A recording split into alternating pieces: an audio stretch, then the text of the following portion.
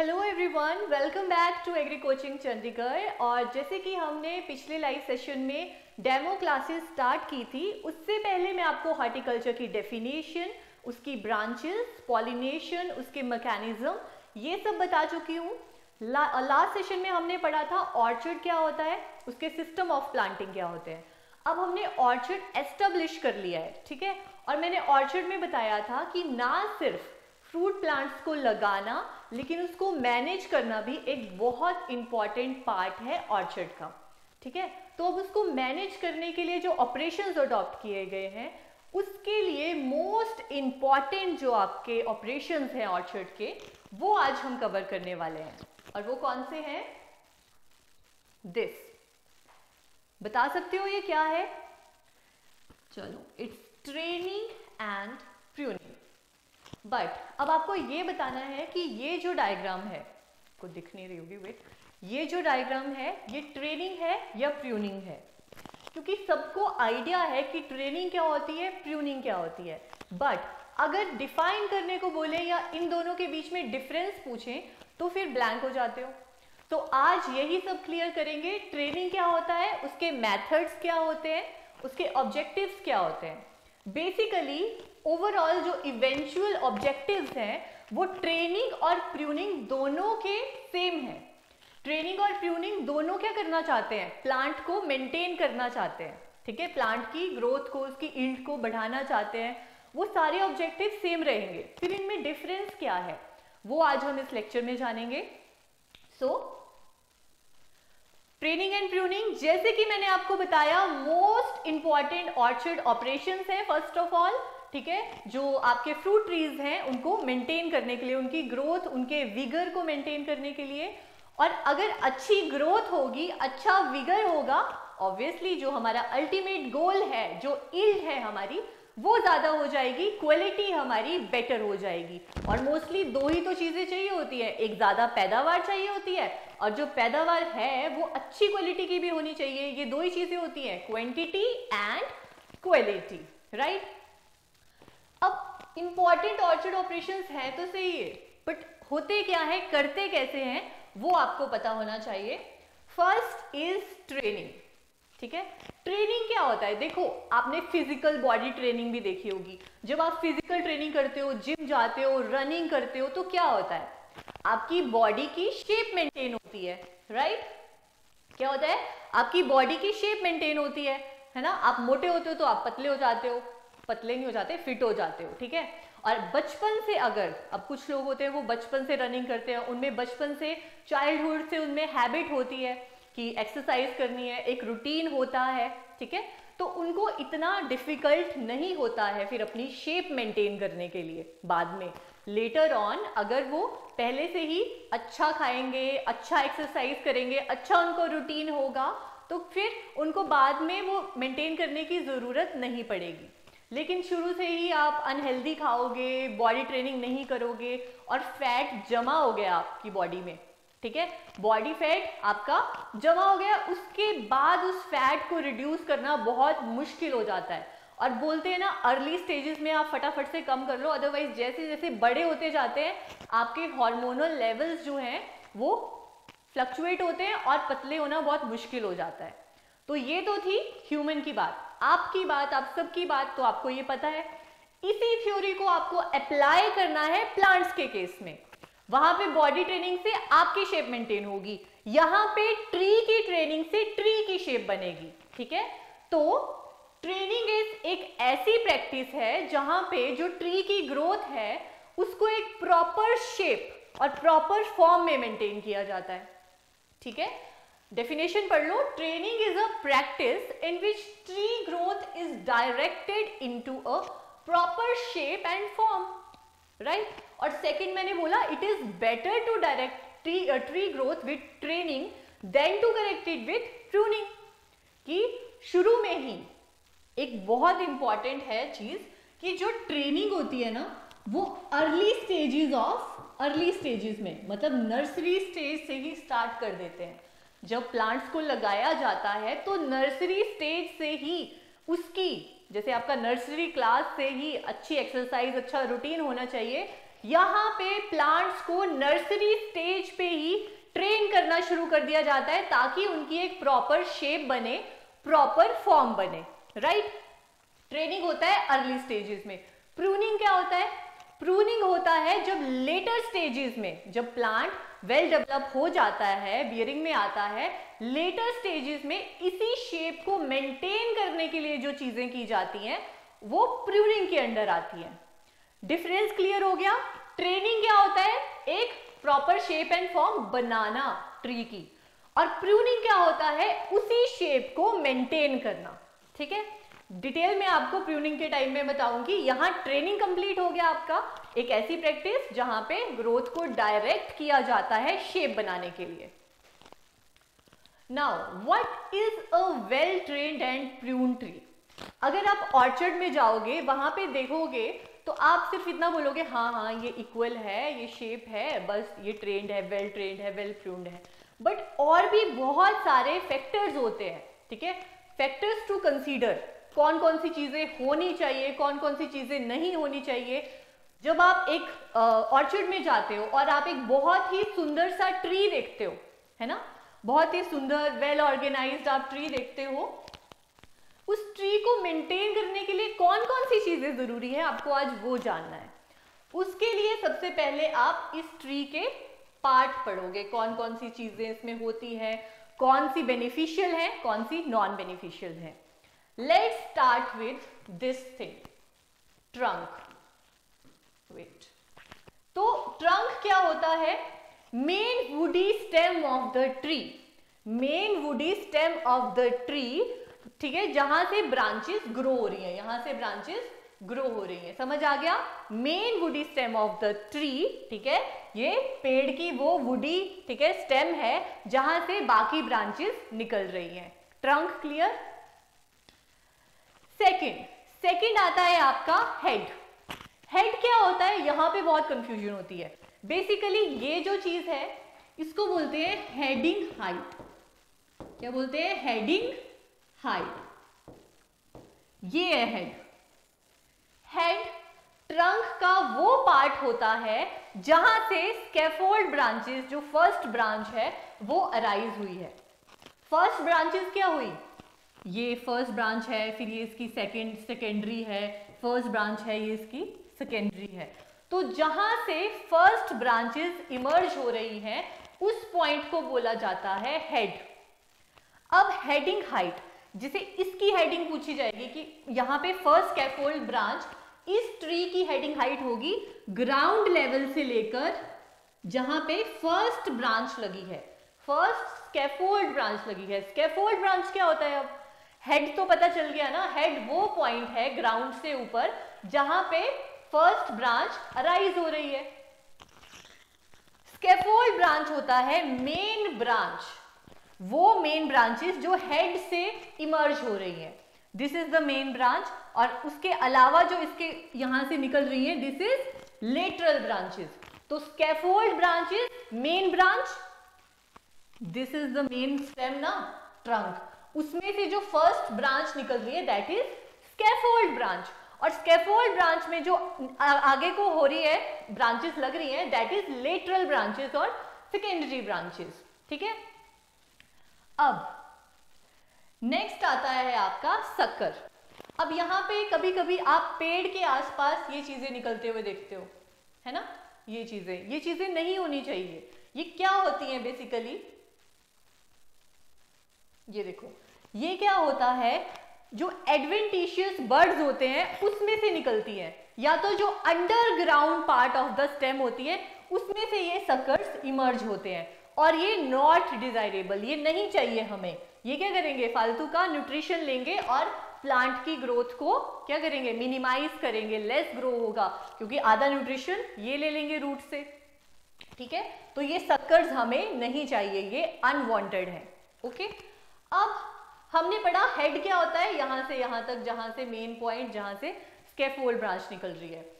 अब जो ये हेड है मतलब जो फ़र्स्ट ब्रांच है, वो ग्राउंड लेवल से 0.7 से 0.9 मीटर पे लग रहा है, ठीक है? उसको बोलेंगे लो हेडेड ट्री ठीक है? मतलब नीचे लग जा रही है फ़र्स्ट ब्रांच लेकिन अगर 1.2 मीटर से ज़्यादा है आपका हेड मतलब मान लिया यहाँ पे ये नहीं है और यहाँ पे लग रही है फ़र्स्ट ब्रांच ये डिस्टेंस ग्राउंड से यहाँ तक बड़ा है।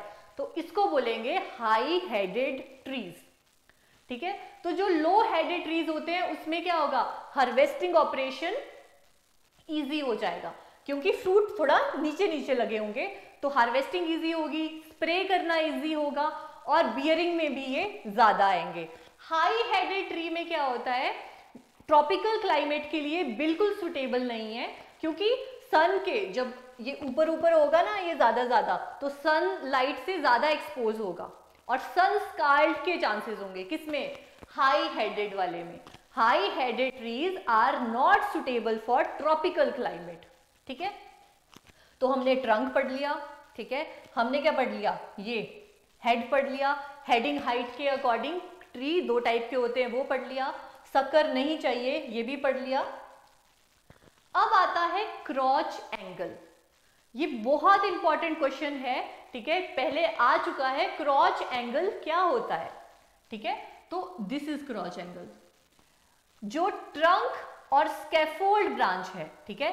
ट्रंक और स्केफोल्ड ब्रांच के बीच का जो एंगल है that is called crotch angle. उसके साथ जो ये स्केफोल्ड ब्रांच है और लेटरल ब्रांच है, उसके बीच के एंगल को भी बोलेंगे क्रॉच एंगल मतलब एक टहनी से दूसरी टहनी के बीच में जो एंगल बन रहा है this is known as crotch angle अब ये जो क्रॉच एंगल है, ये हमेशा वाइड होना चाहिए, ठीक है? जैसे ये एक टहनी है है ना? और ये दूसरी टहनी है तो यहाँ पे वाइड होना चाहिए. नैरो नहीं होना चाहिए. क्यों नहीं होना चाहिए? क्योंकि जाइलम जो जाइलम का फ्लो होता है जाइलम क्या करता है? वाटर को ट्रांसपोर्ट करता है। तो जब नैरो होगा तो वो ब्रेक डाउन हो जाएगा और मूवमेंट ज़्यादा अच्छे से नहीं होगी। तो हमेशा फ़र्स्ट क्वेश्चन आता है कि क्रॉच एंगल बोलते किसको हैं? किसको बोलते हैं? ट्रंक से स्केफोल्ड ब्रांच के एंगल को, या तो स्केफोल्ड ब्रांच से सेकेंडरी ब्रांच के एंगल को बोलते हैं क्रॉच एंगल और ये जो क्रॉच एंगल है, ये हमेशा वाइड होना चाहिए नैरो नहीं होना चाहिए clear now next is water sprout water sprout क्या होते हैं? ये देखो, ये एक ब्रांच है मेन ब्रांच है ना ये फ़र्स्ट ब्रांच है। इसमें जो है वाटर स्प्राउट जो है, ऐसे लग जाते हैं। और इसका रीजन क्या होता है? या तो ब्रांच में कोई डैमेज हुआ है, चाहे इंसेक्ट से हुआ है, चाहे डिज़ीज़ से हुआ है या कोई स्ट्रॉन्ग विंड्स आ रही हैं जिसकी वजह से यहाँ पे क्या हुआ है? कुछ डैमेज हो गया है। अब देखो, आपको भी जहाँ पे कट लगता है, वहाँ पे फटाफट से फॉर्मेशन होती है ब्लड क्लॉटिंग होती है तो आपका क्या होता है यहाँ पे? लेवल्स हार्मोनल बढ़ जाते हैं ग्रोथ ज़्यादा होती है। यहाँ पे कुछ डैमेज हो जाएगा, जिसकी वजह से बहुत ही विग्रस एक शूट निकलेगी यहाँ से अपराइट पोजीशन में। देखो so vigorous vegetative shoots on the main branches in upright direction ये भी क्या है? हमें नहीं चाहिए। क्यों? एक्सपेंस ऑफ़ मेन ब्रांच ठीक है? ये जो मेन ब्रांच है, इस पे वाटर स्प्राउट लग जाएगा अगर तो क्या होगा? न्यूट्रिशन ये भी लेगा, और इसका तो कोई यूज़ ही नहीं है। तो हमें सक्कर्स भी नहीं चाहिए, हमें वाटर स्प्राउट्स भी नहीं चाहिए ट्री में। तो ये सब हमें अवॉइड करने हैं। ठीक है? और अगर आ जाएँगे तो इनको रिमूव करना है। नेक्स्ट लीडर मोस्ट इंपॉर्टेंट जब भी आप ट्रेनिंग के मेथड्स पढ़ोगे, ठीक है? डिफरेंट डिफरेंट मेथड्स पढ़ोगे, उसमें बहुत इंपॉर्टेंट रोल होगा लीडर का। ठीक है? इसलिए याद रखना लीडर क्या होता है? ग्राउंड से लेकर टिप तक। ग्राउंड से लेकर टिप तक जो ये पूरी main wait main growing branch है, इसको बोलते हैं लीडर ठीक है? तो यहाँ से स्टार्ट करेंगे दिस इज़ लीडर है ना? लीडर के बाद क्या आया? दिस इज़ ऊपर लीडर नीचे ट्रंक उसके बाद क्रॉच एंगल इंपॉर्टेंट है, समझ आ गया? ट्रंक से लेके स्कैफोल्ड ब्रांचेस के बीच का एंगल इज़ क्रॉच एंगल ठीक है? उसके साथ ही जो फ़र्स्ट ब्रांच और सेकेंडरी ब्रांच के बीच का एंगल है, वो भी crotch angle crotch angle wide होना चाहिए. Lateral branches secondary branches same thing head क्या होता है? वो पॉइंट जहाँ से फ़र्स्ट ब्रांच इमर्ज हो रही है। ठीक है? दिस इज़ हेड नाउ अब हम अपने टॉपिक पे आते हैं। व्हाट इज़ वेल ट्रेंड ये सब मैंने आपको इसलिए बताया ताकि आप ये समझ सको, जब मैं आपको बताऊँ कि वेल ट्रेन ट्री वो होता है जिसमें स्प्राउट्स नहीं होते हैं, है ना? जिसमें सक्कर्स नहीं होते हैं। तो अगर मैं डायरेक्टली ये बता दूँ तो आपको पता ही नहीं होगा सक्कर्स क्या होते हैं स्प्राउट्स क्या होते हैं। अब आपको पता है वाटर स्प्राउट्स क्या होते हैं? मेन ब्रांच में जो अनवांटेड ग्रोथ सक्कर्स क्या होते हैं जो रूट के पास से निकल रहे होते हैं, वो हमें नहीं चाहिए। फ़र्स्ट ट्रेनिंग का मोटो ही है फ्रेमवर्क बनाना, एक स्ट्रॉन्ग शेप बनाना, उसकी फ्रेम बनाना, ठीक है?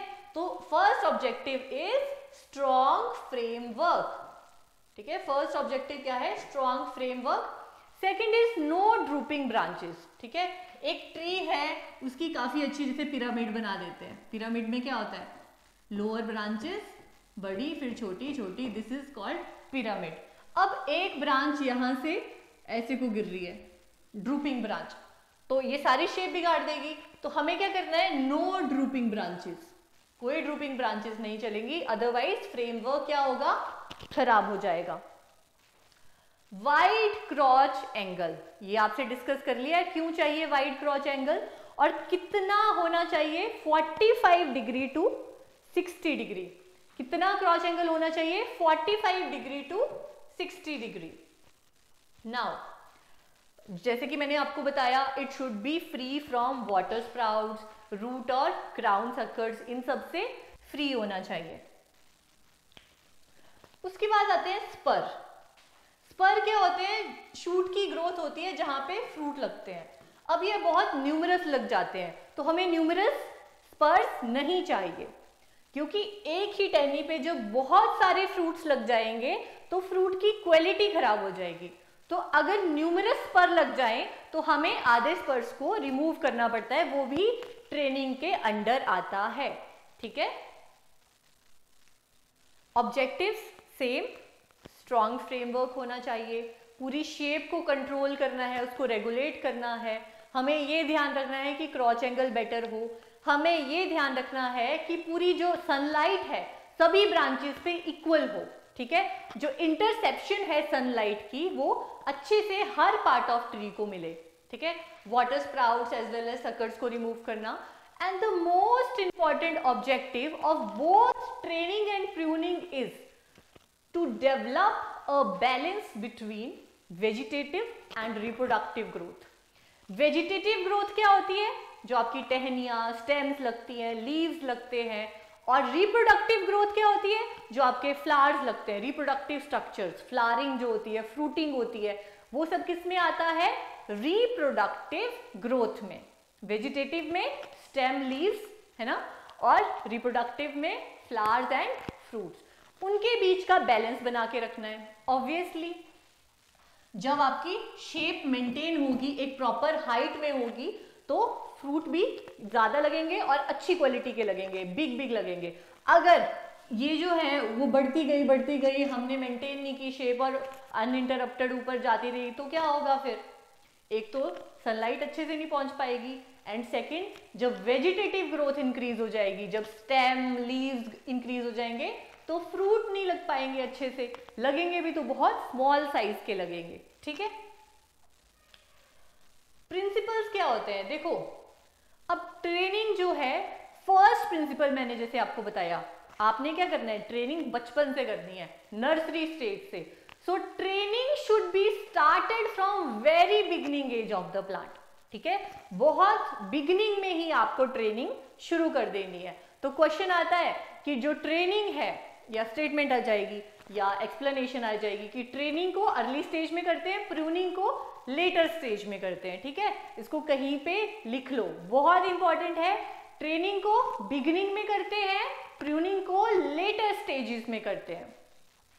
बाकी सब सेम है, ये देखना है कि मोस्टली सिंगल स्टेम जो फ्रूट होते हैं, उनको क्या किया जाता है?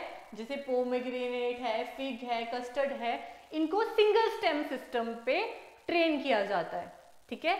क्योंकि जो मल्टी स्टेम है, उसमें क्या होगा? बहुत सारी मल्टी स्टेम्स हो जाएँगी, बहुत सारी मल्टी स्टेम्स हो जाएँगी तो इंसेक्ट का अटैक ज़्यादा हो जाएगा। प्रोन टू इंसेक्ट अटैक्स अब है कि हमें सबसे बड़ा प्रिंसिपल ट्रेनिंग का ये है कि एक प्लांट पे, एक जगह पे बहुत सारी ब्रांचेस नहीं उगने देनी है। ठीक है? Never allow several branches to grow at one place और very near to each other ठीक है? तो क्रॉच एंगल हमेशा ध्यान रखना है। नैरो वाला जो क्रॉच एंगल होगा, अगर ये ट्री है, अगर कोई इससे नैरो एंगल से ब्रांच बन रही होगी, उसको भी डिस्कार्ड करना है। उसके अलावा जो भी मैंने बताया वाटर स्प्राउट्स ये वो वो इसके प्रिंसिपल्स हैं कि कोई भी जो अनवांटेड चीज़ है, जो इंटरमिंगलिंग वाली ब्रांचेस हैं, क्योंकि एक साथ नहीं लगने देनी है तो सबको हमें क्या करना है? डिस्कार्ड कर देना है, ठीक है? ओके अब हम आते हैं ट्रेनिंग मेथड्स पे, ठीक है? ट्रेनिंग मेथड्स में first is open vase second is modify central and third is central open vase इन सबको हम डिटेल में बाद में डिस्कस करेंगे। अभी देख लो ओपन सेंटर में क्या होता है? वास शेप होती है, एक बाउल का शेप होता है, ठीक है? ओपन मतलब जो सेंट्रल लीडर होता है ना, बीच में बताया था ना ग्राउंड से लेके यहाँ तक, इसको हम क्या करेंगे? कट कर देंगे, ठीक है? और फिर हम जो स्कैफोल्ड ब्रांचेस हैं, उनको ग्रो करने देंगे। तो इससे क्या होगा? लाइट के इंटरसेप्शन बहुत अच्छे से हर ब्रांच पे आएगी और ज़्यादा फ्रूट्स लगेंगे। बट डिसएडवांटेज ये है कि ये इतना स्ट्रांग नहीं होगा। भाई लीडर ही नहीं है, ठीक है? लीडर ही हमने बीच से हटा दिया है तो ये ज़्यादा स्ट्रांग नहीं होगा। ज़्यादा इसमें फ्रूट्स जो है लगेंगे भी तो क्रॉप लोड ये नहीं ले पाएगा, ठीक है? ज़्यादातर इसको किया जाता है पीच में गुआवा में बेर और अप्रीकॉट में। ये मैंने सेम बता दिया क्या क्या होता है डिसएडवांटेजेस मैंने बता दिए। अब सेंट्रल लीडर सिस्टम क्या होता है? इसमें हम जो सेंटर का जो मेन लीडर है उसको हम अनइंटरप्टेड बढ़ने देंगे। हम नहीं उसको कुछ छेड़ेंगे, ठीक है? और जो फ़र्स्ट ब्रांच है, वो 40 टू 50 सेंटीमीटर हाइट पे। सेंट्रल लीडर मतलब लीडर को जो बीच की ये जो है, इसको नहीं छेड़ेंगे। इसको हम ग्रो करने देंगे। इससे क्या होता है? इसमें जो आपका ट्री है, वो तो स्ट्रांग होगा, ठीक है? काफ़ी स्ट्रांग बनेगा but at the same time fruits ज़्यादा नहीं लगेंगे, क्योंकि सनलाइट की इंटरसेप्शन हर जो ब्रांच है उस पर नहीं, जो लोअर ब्रांचेस हैं, वो अनप्रोडक्टिव रहेंगी, क्योंकि उस तक सनलाइट पहुँच ही नहीं पाएगी। सेंट्रल लीडर स्ट्रांग ज़रूर होता है, ये इसका एडवांटेज है। लेकिन डिसएडवांटेज ये है कि इसमें ज़्यादा फ्रूट बियरिंग नहीं हो पाती, क्योंकि लोअर ब्रांचेस जो नीचे वाली ब्रांचेस हैं, वो अनप्रोडक्टिव रहती हैं, वहाँ तक सनलाइट पहुँच ही नहीं पाती। ये अडॉप्ट किया जाता था पहले apple pear mango walnut sapota में। अब एप्पल और पियर के लिए डिफरेंट स्पेशल जो आपके ट्रेनिंग सिस्टम है एस्पेलियर जो आगे आएगा, वो भी करते हैं। लेकिन जब से, ये मैंने आपको बता दिया सारा एडवांटेज डिसएडवांटेज जब से मॉडिफाइड लीडर सिस्टम आया है it is the most acceptable training system question पूछा जाता है, कौन सा ट्रेनिंग मेथड मोस्ट एक्सेप्टेबल है फ्रूट क्रॉप्स के लिए? So it's modified leader system ये दोनों का मिक्सचर है central leader and open centre कैसे? इसमें पहले पाँच से चार से पाँच साल तक बढ़ने देते हैं सेंट्रल लीडर को। उसके बाद उसको एक हाइट पे कट कर देते हैं, ठीक है? टू टू थ्री मीटर पे कट कर दिया, पहले बढ़ने दिया चार से पाँच साल, उसके बाद कट किया। तो कट भी कर रहे हैं ओपन की तरह और ज़्यादा बढ़ने भी नहीं दे रहे अनइंटरप्टेड किसकी तरह? सेंट्रल लीडर की तरह। तो दोनों का इंटरमीडिएट है। इसमें हाइट मॉडरेट होती है लाइट इंटरसेप्शन भी अच्छी होती है लोअर जो ब्रांचेज होती हैं, वो भी अनप्रोडक्टिव नहीं होती है। उसके सारे डिसएडवांटेजेस यहाँ पे कवर हो जाते हैं। ठीक है?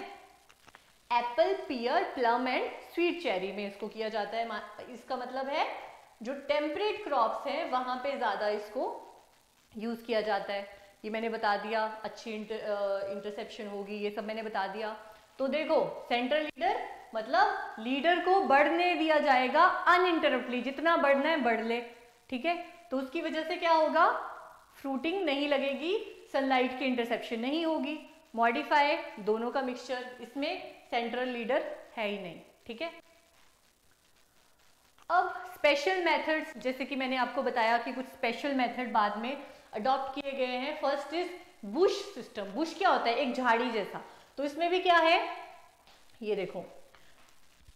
ये जो ब्रांचेस हैं, तीन से चार ब्रांचेस को ग्रो कराया जाता है और उसके ऊपर ही फिर आगे सेकेंडरी ब्रांचेस इतनी सारी ऐसे लगती है कि एक बुश टाइप का स्ट्रक्चर बनता है। ठीक है? That is bush system pyramid pyramid क्या होता है?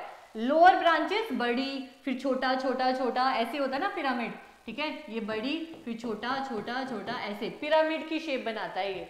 ठीक है? उसके बाद एस्पेलियर एस्पेलियर का फ्रेंच वर्ड है ये, जिसका मतलब है फेंसिंग फेंसिंग कैसी होती है देखो? जब आप चारों तरफ़ फेंसिंग लगाते हो ना तो आपने देखा होगा, ऐसे तीन तारे लगाई जाती है। एक, दो, तीन। तो इसमें भी क्या है? ग्राउंड से पैरलर में तीन लाइन लगाई, तीन वायर्स लगाई जाती हैं। ठीक है? डिफरेंट हाइट्स पे। जैसे कि देखो थ्री वायर्स पहली मतलब यहाँ से यहाँ तक हम लगाएँगे 60 टू 70 सेंटीमीटर की, फिर यहाँ से यहाँ तक 130 से 140 और यहाँ से यहाँ तक 200 मीटर पे। तीन हमने वायर लगा दी और उस पर फिर जो आपकी स्टेम्स है, जो आपकी ब्रांचेस हैं, उनको हम ट्रेल कर देंगे उस पर ठीक है? नाउ ये देखो, यहाँ पे ऐसे लगाते हो ना फेंसिंग की वायर ये देखो, ऐसे लगाते हो। इसके ऊपर ये जो स्टेम्स है इनको ट्रेन किया जाता है।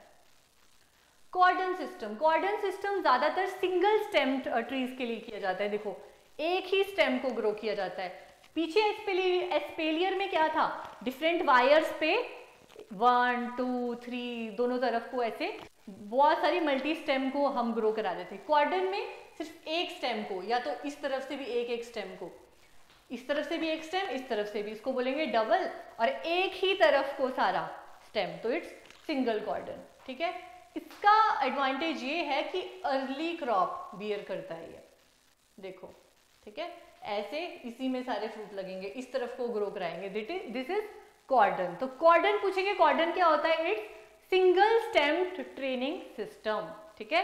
कभी कभी आ जाता है कॉर्डन क्या होता है? Single stem training system now Tatura trellis Tatura trellis क्या होता है? देखो ट्रेलिस का मतलब होता है दिस ये जाली जैसा, ठीक है?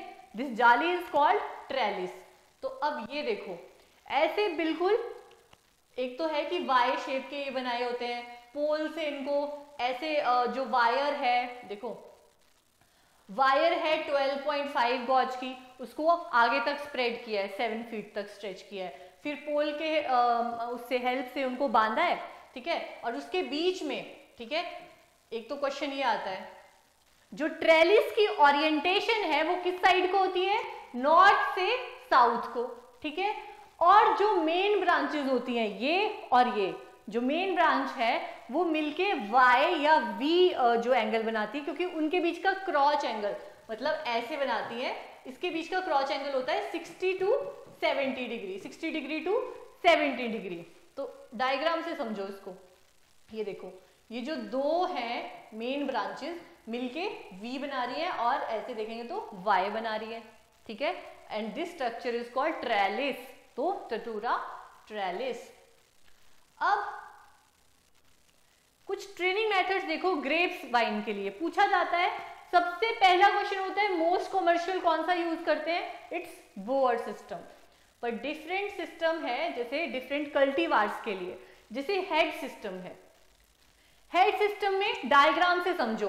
हेड मतलब ऊपर वाला टर्मिनल पोर्शन पे ही ब्रांचेस को सिर्फ़ ग्रो कराया जाता है। और ये क्यों कराया, किसके लिए कराया जाता है? जो लेस विगर होता है, ज़्यादा फैलते नहीं है उन कल्टी ग्रेप्स के वो कल्टीवार जो ज़्यादा स्प्रेड नहीं होते हैं, ज़्यादा फैलते नहीं है, उनके लिए इस हेड सिस्टम जहाँ पे टर्मिनल पोर्शन पे ग्रो कराया जाता है शूट्स को, ठीक है? जैसे डिलाइट ब्यूटी सीडलेस और मोस्ट इंपॉर्टेंट परलेट के लिए कौन सा यूज़ होता है? हेड सिस्टम इजी मेथड है बेटर इंटरसेप्शन है, ये सब चीज़ें हैं। निफिन सिस्टम क्या होता है? बहुत पूछा जाता है व्हाट इज़ निफिन सिस्टम सबसे पहले तो निफिन सिस्टम जो मॉडरेट विग्रस होते हैं मतलब लेस विग्रस नहीं होते, बहुत विग्रस भी नहीं होते बीच बीच के होते हैं, ठीक है? उनके लिए यूज़ किया जाता है, ठीक है? इसमें, उसमें क्या था? तीन से चार वायर थी। किसमें थी? बताओ मुझे। बताओ, आपको टाइम दे रही हूँ मैं। एस्पेलियर में थी। एस्पेलियर क्या है? Fence espalier is a French word जिसका नाम है फेंस उसमें कितनी वायर्स थी? इसमें ओनली टू वायर्स हैं और उन टू वायर्स पे इसको जो ग्रेप की वाइन्स है, उनको ट्रेन किया गया है इस तरीके से कि वो फोर आर्म्स वाली दिखे। देखो, एक, दो, तीन, चार। इसमें से क्या होता है? ऊपर वाली जो ब्रांचेस होती हैं, उनमें सनलाइट की इंटरसेप्शन ज़्यादा होती है, ठीक है? तो ये ज़्यादा प्रोडक्टिव होती हैं। और ये देखो कितनी छोटी छोटी हैं, ये लेस प्रोडक्टिव हैं। अर्ली मस्कैट में इसको यूज़ किया जाता है क्या होता है निफिन टू वायर यूज़ होती हैं इसमें। टू वायर्स को स्ट्रेच किया जाता है। उसके ऊपर जो है, वो जो दोनों लाइंस है वायर की ग्रेव वाइन को ट्रेन किया जाता है। ठीक है? फोर आर्म सिस्टम के साथ। और किसके लिए यूज़ होता है ये? मॉडरेट के लिए, जो मॉडरेट विगर के होते हैं। नाउ बोअर सिस्टम ये क्यों बोअर सिस्टम अडॉप्ट इसलिए कमर्शियली किया जाता है? फ़र्स्ट फ़र्स्ट इज़ क्योंकि जो वाइन्स होती हैं ग्रेप्स की बहुत विगरस होती हैं। तो ये विगरस कल्टीवार के लिए है, जैसे Anabe Shahi very important very famous variety ठीक है? महँगा ज़रूर होता है, क्योंकि पूरा जैसे मंडप से जाते हैं ना, वैसा होता है, ये देखो, पूरा। कुकुरबिट्स के लिए भी आपने देखा होगा, ऐसा ऐसा स्ट्रक्चर बनाते हैं। तो वायर्स का क्रिस क्रॉस नेटवर्क होता है, ठीक है? तो क्वेश्चन आ सकता है बोर्ड सिस्टम में क्या होता है? Roof light structure criss cross network pergola भी बोल सकते हैं, मंडप भी बोल सकते हैं। इससे क्या होता है, एक तो जो ग्रेप होता है ना, उसमें बर्ड जो होते हैं, वो स्कार कर देते हैं। वो भी इससे प्रिवेंट होता है और जो बेरीज होती हैं, वो डेसिकेट हो जाती है विंड की वजह से। वो भी इसमें नहीं होता है, ठीक है? तो सबसे पहले विग्रस कल्टीवार के लिए सूटेड हैं। वाइन्स को ट्रेन किया जाता है criss cross network of wire पे, ठीक है? कमर्शियली इसको यूज़ किया जाता है. Now telephone and overhead trellis system इसको मॉडिफाइड बोअर सिस्टम भी बोला जाता है. क्यों? पिक्चर्स में देखो. ये बोअर सिस्टम के जैसा ही है, ठीक है? ये देखो रूफ जैसा ही बनाया है. लेकिन, इसमें क्रिस क्रॉस नेटवर्क नहीं है, इसमें स्पेसिंग दी गई है, ठीक है? इंटरकल्चर ऑपरेशन यहाँ देखो. सिमिलर टू बोअर सिस्टम ठीक है? Except that every two metre मतलब जो एवरी टू मीटर जो है, उसकी स्पेसिंग रखी जाती है ताकि वॉक करने में भी इजी हो, ठीक है? और कल्चरल ऑपरेशन भी अच्छे से परफॉर्म हो सके। इसी के साथ हमारे ट्रेनिंग मेथड्स खत्म हो गए। देखो ट्रेनिंग क्या होता है? शेप बनाना प्रॉपर शेप और फॉर्म देना। एक ऐसी प्रैक्टिस जहाँ पे हम ट्री ग्रोथ को डायरेक्ट कर रहे हैं। जो ग्रोथ है, उसको एक प्रॉपर शेप दे रहे हैं। ठीक है? कैसे दे रहे हैं वो मैंने आपको बता दिया डिफरेंट मेथड्स होते हैं। ओपन में हम कैसे शेप दे रहे हैं? वास शेप दे रहे हैं, ठीक है? बाउल की तरह सेंटर लीडर को काट के, ठीक है? सेकंड सेंट्रल लीडर उसमें हम कैसी शेप दे रहे हैं? लंबी वाली सेंट्रल लीडर को बढ़ने दे रहे हैं और फिर ऐसे ऐसे उसमें जो है वो ब्रांचेस लग रही है, ठीक है? थर्ड मॉडिफाइड सेंटर उसमें क्या करते हैं? दोनों का मिक्सचर होता है। बढ़ने भी देते हैं, चार से पाँच साल तक, फिर कट कर देते हैं उसको, ठीक है?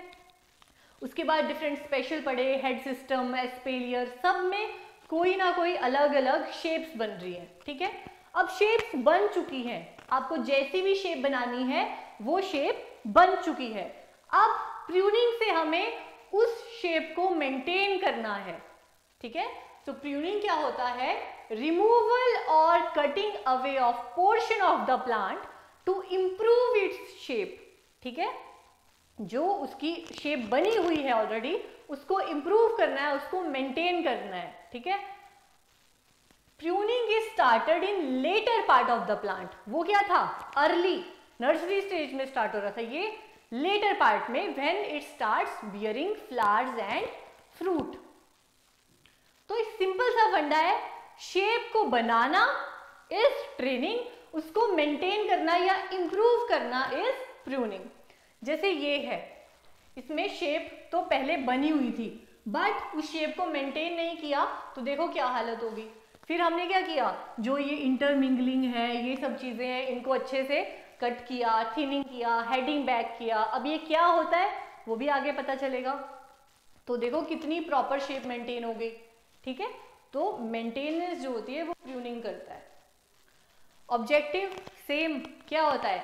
आपने शेप तो मेंटेन कर ली है बट क्या होता है? बीच में कोई डिज़ीज़ लग जाती है या कोई शूट डैमेज हो जाती है विंड स्ट्रॉन्ग विंड से तो कोई आ, ऐसे अच्छी खासी लगी हुई है बट विंड की वजह से वो ऐसे ड्रूप हो गई है।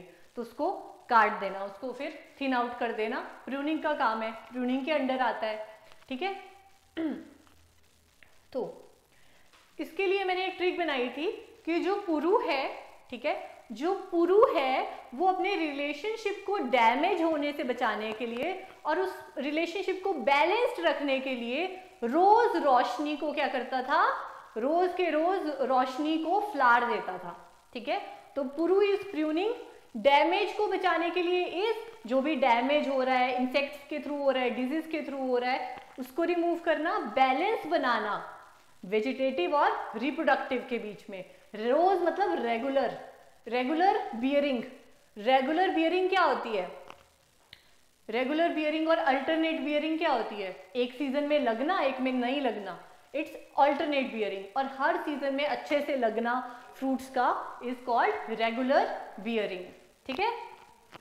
उसके बाद फ्लावर देता था.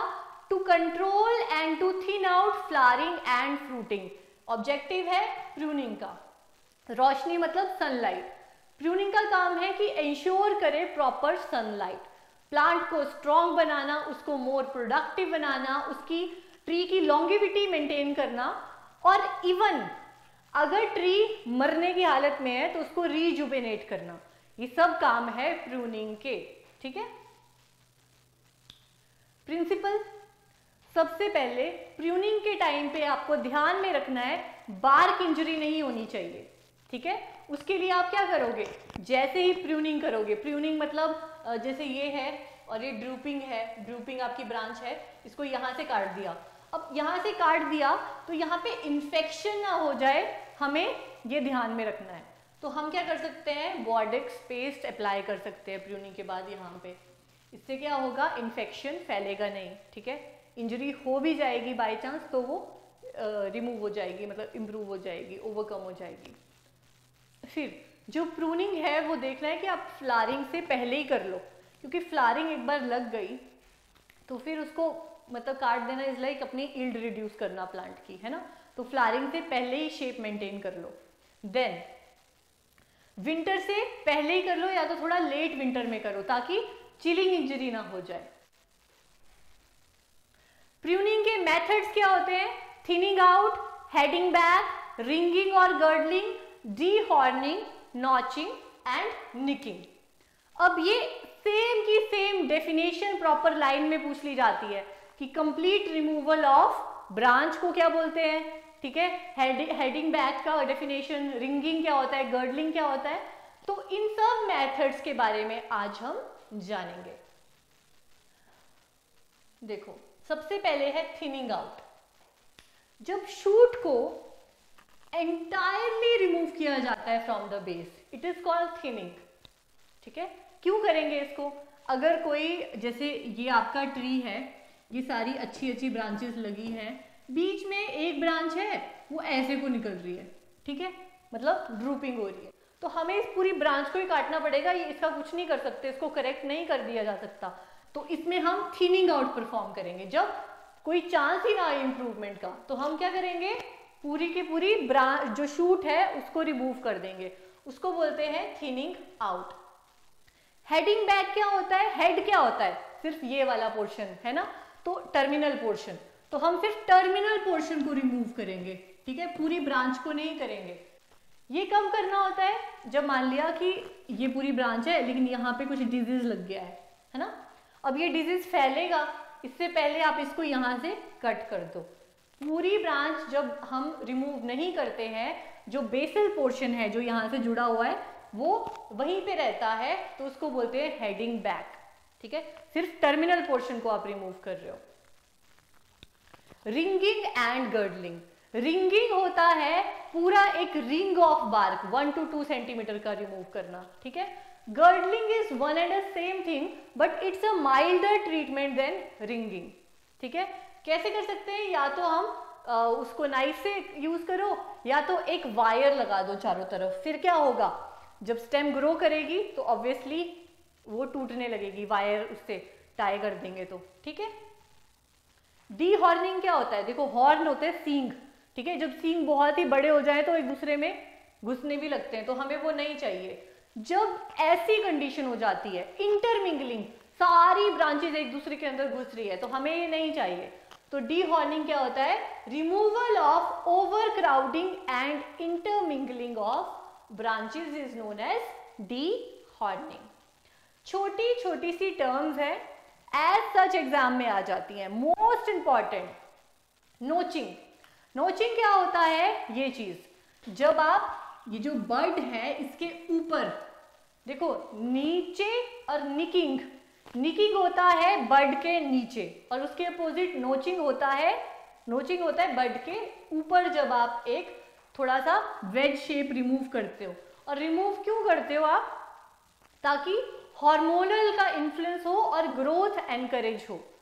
सेम थिंग मैंने आपको बताया था, जहाँ पे आपका कट लगता है, वहाँ पे फटाफट से सारे वो बनने लगते हैं सेल टिश्यू बनने लगते हैं ग्रोथ एनकरेज होती है इस जगह पे। तो यहाँ पे भी जब क्या करेंगे? यहाँ पे कट लगाएँगे तो यहाँ पे हार्मोनल इन्फ्लुएंस होगा और ग्रोथ बढ़ेगी। निकिंग में क्या होगा? निकिंग में, ये देखो डायग्राम ये बर्ड है, उसके नीचे से हमने क्या किया है? नोच निकाला है, ठीक है? जो नोच है, वो कहाँ लगाया है हमने? कहाँ लगाया है? बर्ड के नीचे। निकिंग और नीचे। नी नी से याद रखना है, ठीक है? ये क्या करता है? दोनों डिफरेंट टर्म्स है, दोनों के डिफरेंट रोल हैं। ये क्या करता है?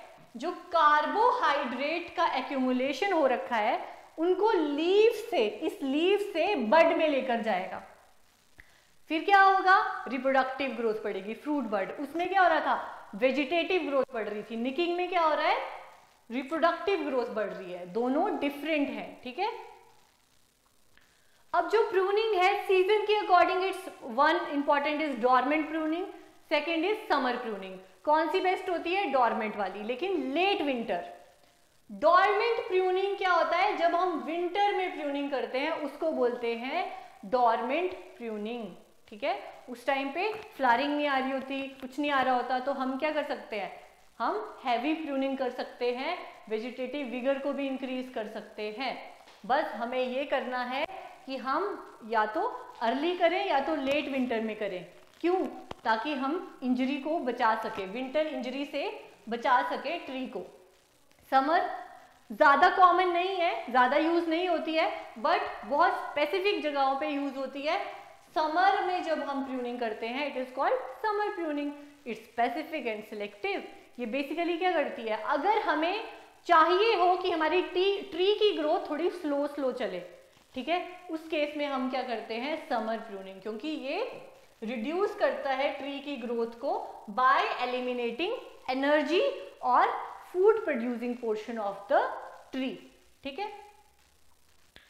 उसके अलावा रूट प्रूनिंग होता है। रूट प्रूनिंग में क्या करते हैं? ऑब्वियसली रूट की प्रूनिंग करते हैं। कैसे? जो 40 सेंटीमीटर अवे हम रूट्स को काटेंगे। ठीक है? इससे क्या होता है? डवाफनेस आती है। फ्लारिंग और फ्रूटनेस इंक्रीज होती है। और इसको सबसे ज़्यादा प्रैक्टिसाइज किया जाता है मैंडरिन में, ठीक है? सिट्रस में ऑरेंज में। फिर एक स्पेशल प्रैक्टिस है बेंडिंग बेंडिंग में क्या कर दिया जाता है? देखो, ये जो आपकी लेटरल जो शूट है उनको बेंड कर दिया जाता है। क्यों कर दिया जाता है? ताकि फ्रूट की प्रोडक्शन ज़्यादा हो। देखो, यहाँ से पे भी लगेंगे, यहाँ पे भी लगेंगे।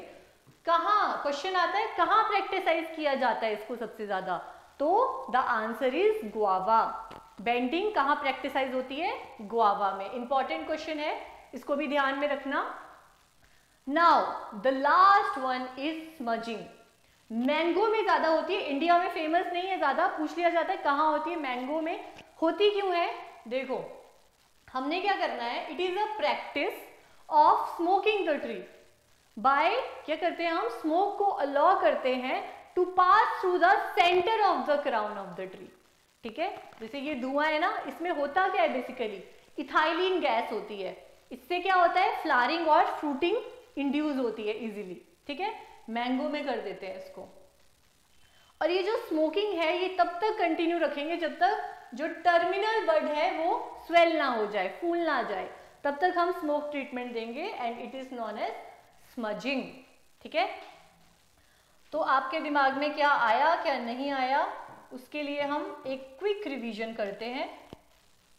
लेकिन कहाँ करें? यहाँ कर देते हैं। देखो। हाँ जी। जल्दी से कर लेते हैं। हमने पढ़ा ट्रेनिंग एंड प्रूनिंग जो कि ऑर्चर्ड में होने वाले टू मेजर ऑपरेशंस है। ठीक है? ऐसे पढ़ेंगे। ट्रेनिंग एंड प्रूनिंग ठीक है? की पॉइंट्स लिख लो. ट्रेनिंग अर्ली स्टेज में, ठीक है?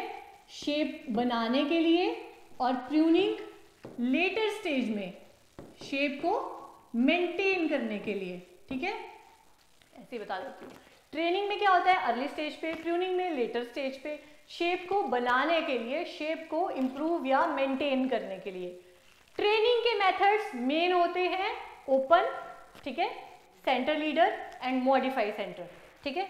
या मॉडिफाई लीडर उसके बाद जो प्रूनिंग है उसमें क्या किया जाता है? क्या किया जाता है उसमें? या तो हेडिंग बैक या तो हेडिंग बैक कर दिया जाता है या तो क्या कर दिया जाता है? थिनिंग आउट हेडिंग बैक में हम सिर्फ़ हेड वाला पोर्शन टर्मिनल वाला पोर्शन रिमूव करते हैं. थिनिंग आउट में हम पूरी की पूरी ब्रांच रिमूव कर देते हैं. बेसिकली द फंडा इज़ इसके ऑब्जेक्टिव है टू मेंटेन वेजिटेटिव फ़ेज़ और रिप्रोडक्टिव फ़ेज़ का बैलेंस उनके बीच में बैलेंस रखना है हमें। प्रॉपर शेप मेंटेन करनी है। अल्टीमेट गोल है अच्छी इल्ड का, अच्छी क्वालिटी का। जो कि कब होगा? जब बैलेंस बना रहेगा between vegetative and reproductive phase ठीक है? डिफरेंट टाइप्स आप देख लेना उसमें क्या क्या होता है। स्मॉल सॉल जो डेफिनेशन है नोचिंग डीहॉर्निंग ठीक है निकिंग ये सब ध्यान में रखना। तो इसी के साथ आपका ट्रेनिंग एंड ट्यूनिंग टॉपिक भी खत्म होता है। ऑर्चर्ड के इंपॉर्टेंट ऑपरेशन थे ये। इसके बाद हम बहुत इंपॉर्टेंट टॉपिक्स करेंगे। प्रोपेगेशन कैसे होता है, ठीक है? ऑर्चर्ड आपने एस्टेब्लिश कर लिया। ट्री को मेंटेन करना भी सीख लिया। अब ये जो प्लांट है, ये जो कटिंग्स भी हम लगाते हैं कॉमर्शियल प्रोपेगेशन किससे करते हैं, वो सब जानना भी बहुत इंपॉर्टेंट है, ठीक है? और उसके साथ ही ये जो टॉपिक्स हैं, ये हॉर्टिकल्चर ओवरऑल हॉर्टिकल्चर के बहुत इंपॉर्टेंट टॉपिक्स हैं। कोई भी एग्ज़ाम दोगे सिस्टम ऑफ़ प्लांटिंग में से बहुत क्वेश्चन बनते हैं ट्रेनिंग ट्रूनिंग में से बहुत क्वेश्चन बनते हैं तो ये बहुत ही बेसिक टॉपिक है। इनको आप अच्छे से रिवाइज करो, अच्छे से पढ़ो और इसमें से क्वेश्चन पक्का ही आते हैं और आपके कॉन्सेप्ट्स भी क्लियर होने चाहिए। क्यों करते हैं? कैसे करते हैं? तभी आप बता पाओगे क्या डिफरेंस होता है ट्रेनिंग और प्रूनिंग में, ठीक है? अभी आप अपने दिमाग को खोलो, सोचो कि आपको अब आता है ट्रेनिंग क्या होता है? शेप बनाना प्रूनिंग क्या होता है उसको मेंटेन करना, ठीक है? इतनी सी बात थी। तो इसी के साथ हमारा टॉपिक खत्म हो रहा है। मिलते हैं अगले लेक्चर में। आई होप आपको समझ आया होगा। इसमें से कोई भी क्वेश्चन आएगा तो आप करोगे। और करोगे कब? जब इसको रिवाइज करोगे, नहीं तो साफ़ हो जाएगा, ठीक है? तो अच्छे से रिवाइज करो, अच्छे से पढ़ो और नेक्स्ट टॉपिक में मिलते हैं। और तब तक के लिए थैंक यू सो मच